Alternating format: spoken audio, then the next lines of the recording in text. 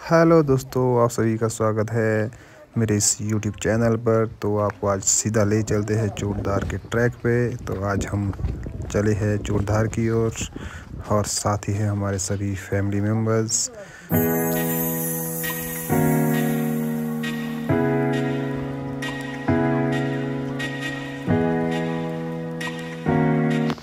यहाँ पे हमने शॉर्टकट रास्ता अपनाया और शॉर्टकट रास्ता से हम आगे निकल पड़े। लेकिन आप सभी ऐसा ना करें, क्योंकि इस घने जंगल में बहुत छोटे छोटे रास्ते ऐसे कि जिसमें भटकने की ज़्यादा गुंजाइश रहती है।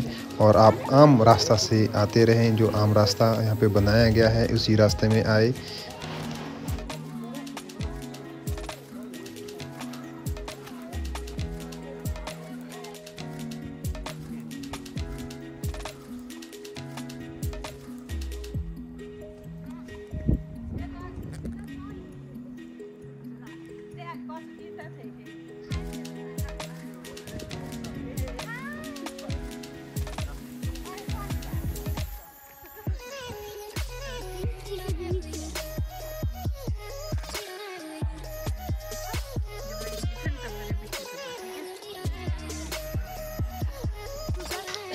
अभी तो बस भक्त हुए हैं चोड़ेश्वर महादेव के।